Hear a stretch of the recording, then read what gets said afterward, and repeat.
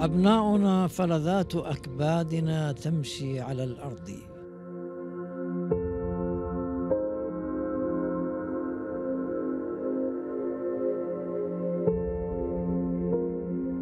إن هبت الريح على بعضهم امتنعت عيناي من الغمض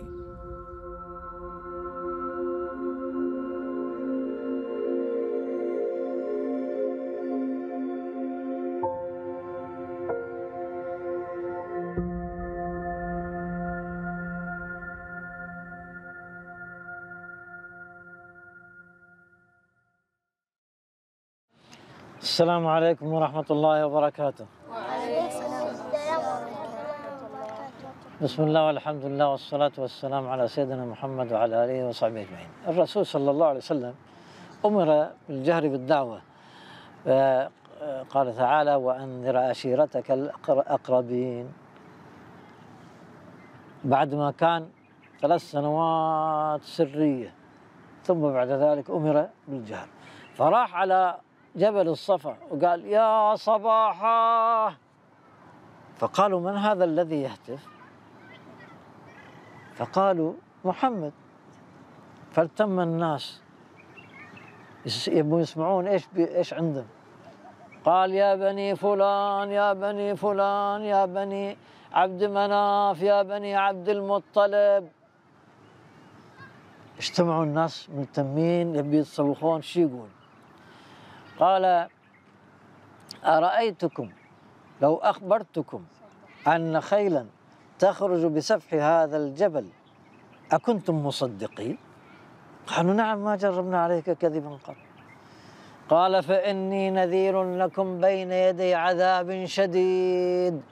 فقال أعمه أبو لهب ألهذا جمعتنا؟ تبا لك تبا لك. هاي عمه يقول له فنزل قوله تعالى من يحفظ السورة؟ تبت تبت يدا تبت تبت يدا وتب. تبت يدا أبي لهب وتب.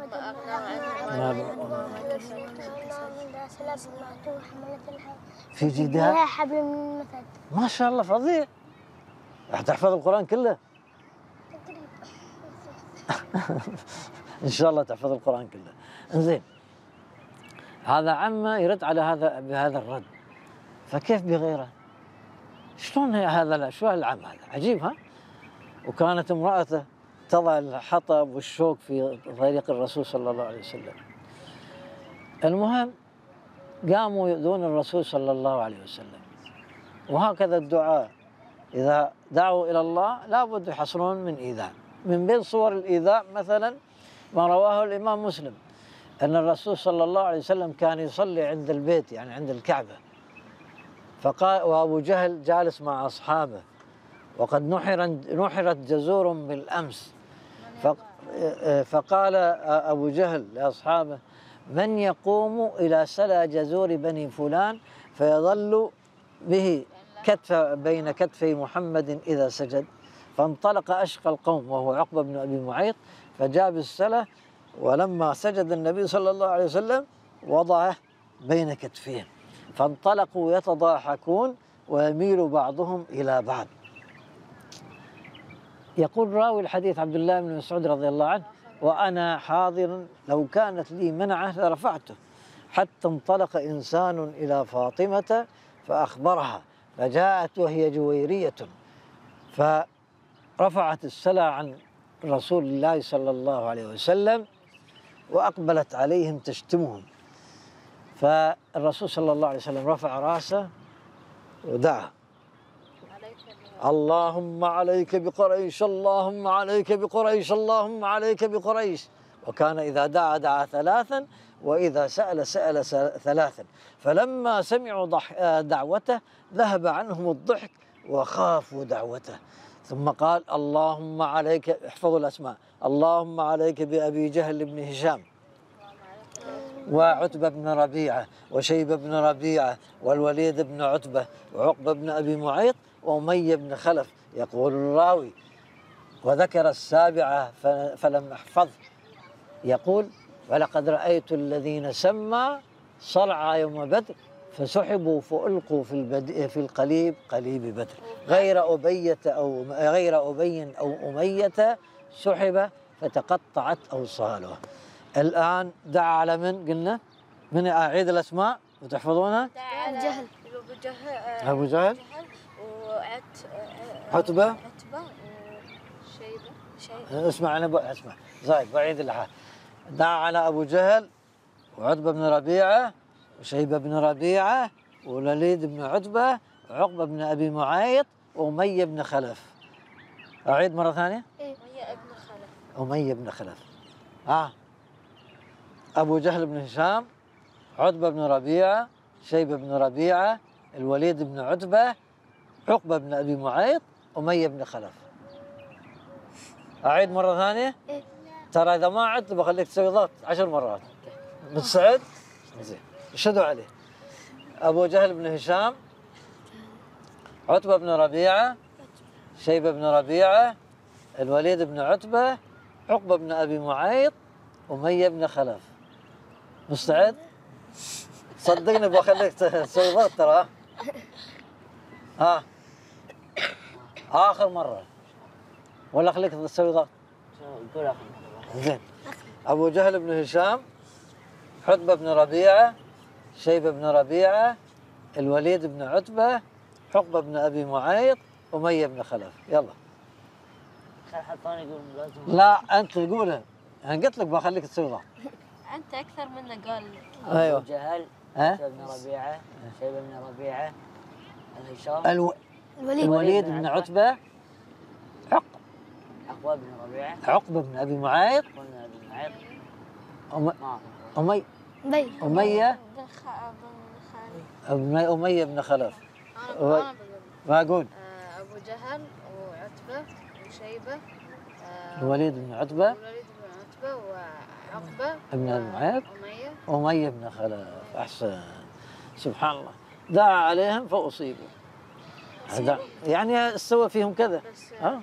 ها؟ كان بعد أربع سنوات أظن. يعني في غزوة بدر يعني. إيه إيه. سبحان الله. شوف شلون؟ من بين ال- أيضا صور الإيذاء. عقبة بن أبي معيط مرة جل النبي صلى الله عليه وسلم وزنقه أو خنقة. خنق الرسول؟ إيه. ليش؟ لأنه كافر ويؤذي النبي صلى الله عليه وسلم. فجاء أبو بكر وقال أتقتل أتقتلون رجلا؟ أن يقول ربي الله. ها؟ أيوة. مرة أبو جهل في رواية الإمام مسلم قال لأصحابه أيعفر محمد جبهته بين أظهركم؟ قالوا نعم. قال واللات والعزى لئن رأيته يفعل ذلك لأطأن على رقبته ولو عفرن وجهه في التراب. لأطأن على رقبته أو أو لأعفرن وجهه في التراب. فجاء وهو يزعم أنه يطأ على رقبته. والنبي صلى الله عليه وسلم ساجد. فما فجئهم إلا وهو ينكص على عقبيه ويتقي بيديه. فقالوا ما لك؟ قال إن بيني وبينه لخندقا من نار وهولا وأجنحة. إن بيني وبينه لخندقا من نار وهولا وأجنحة. فقال صلى الله عليه وسلم لو دنا مني لاختطفته الملائكة عضوا عضوا. لو دنا مني لاختطفته الملائكة عضوا عضوا. يعني خذت روح الملائكة؟ كان الملائكة إيش بتسوي فيه؟ تأخذ أعضاءه أهم يده إذنه خشمه بتقطعه. سبحان الله. زين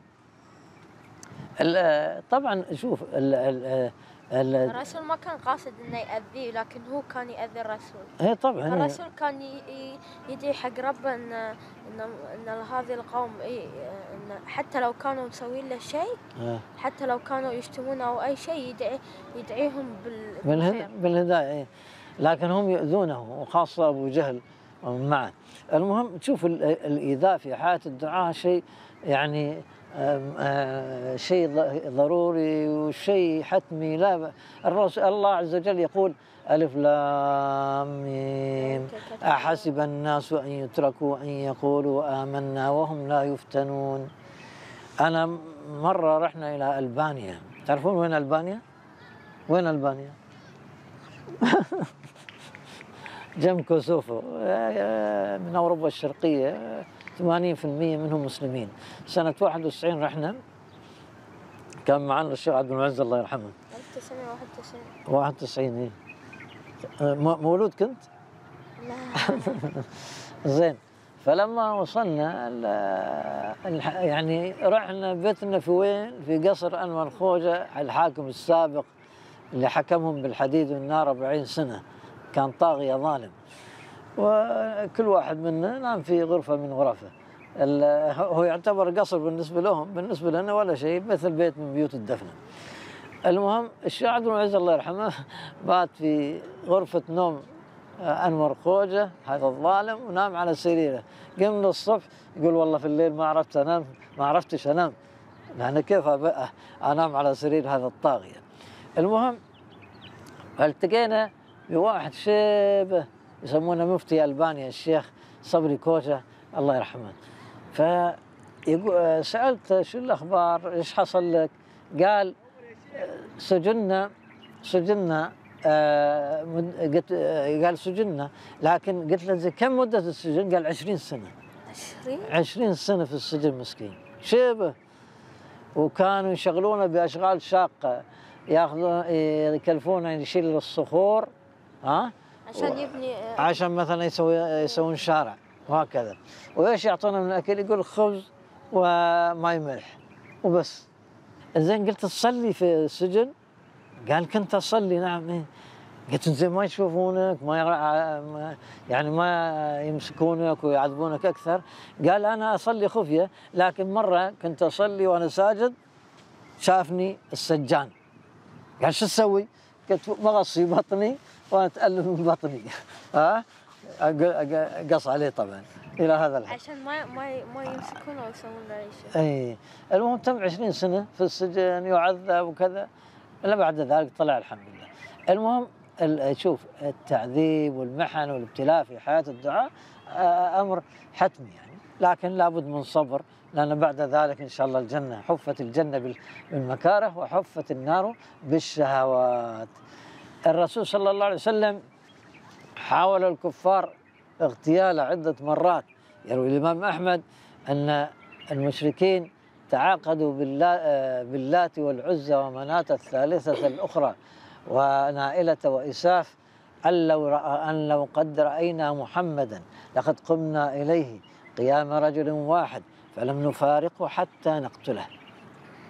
فجاءت ابنته فاطمة تبكي وقالت يا أبتاه ألم تر أن الملأ من قريش قد تعاقدوا عليك؟ أن لو قد رأوك لقد قاموا إليك فقتلوك فلا, فلا, فلا يكون أحد منهم إلا عرف نصيبه من دمك. قال يا بني أريني وضوءا يعني ما أعطيني ماء للوضوء أريني وضوءا. فتوضأ وخرج إليهم. فلما شافوه قالوا ها هو ذا. ها هو؟ ذا. وخفضوا أبصارهم وسقطت أذقانهم في صدورهم فلم يرفعوا إليه بصرا ولم يقم إليه رجل. فالرسول صلى الله عليه وسلم أخذ حصباء حجارة حص- حصيات ورماها عليهم. رسول. الرسول صلى الله عليه وسلم. يقول الراوي على هذول الكفار. آه. اي فيقول الراوي فما أصاب رجل منهم فما أصاب رجلا منهم حصاة من تلك الحصاة إلا قتل يوم بدر كافرا. إلا قتل يوم بدر كافرا. الله. عجيب ها؟ الله حافظه صح ولا لا؟ زين شباب اسمعوا شباب. الآن قلنا إحنا دا النبي صلى الله عليه وسلم دعا على هؤلاء الأشخاص. إيش صار فيهم بعدين؟ ها قتلوا في غزوة قتلوا في غزوة بدر وسحبوا واحد واحد فألقوا في وين؟ في وين ألقوا؟ في في القليب يعني إيش في البير في الجليب زين؟ شوف المنظر طبعا منظر كريه ها؟ هذا أبو جهل وعتبة وشيبة وه- يسحبون واحد واحد سبحان الله ميتين ولا آه طبعا مقتولين إيه؟ مقتولين في بدر إيه؟ فعبرة ها؟ أليس ذ- في ذلك عبرة؟ بلى صح ولا لا؟ إيه؟ المهم حاسب من دعوة المظلوم. وكيف هذا كان الرسول صلى الله عليه وسلم دعا. طبعا دعوته أكثر استجابة. يلا جزاكم الله خير. بارك الله فيكم. والسلام عليكم ورحمة الله وبركاته.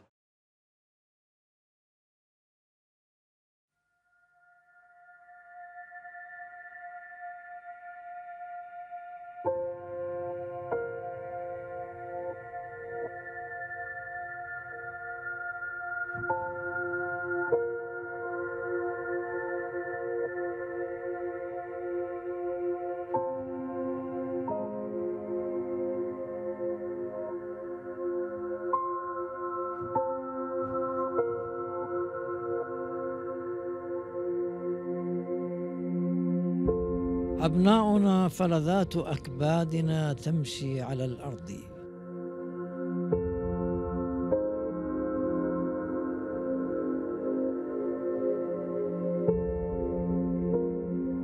إن هبت الريح على بعضهم امتنعت عيناي من الغمض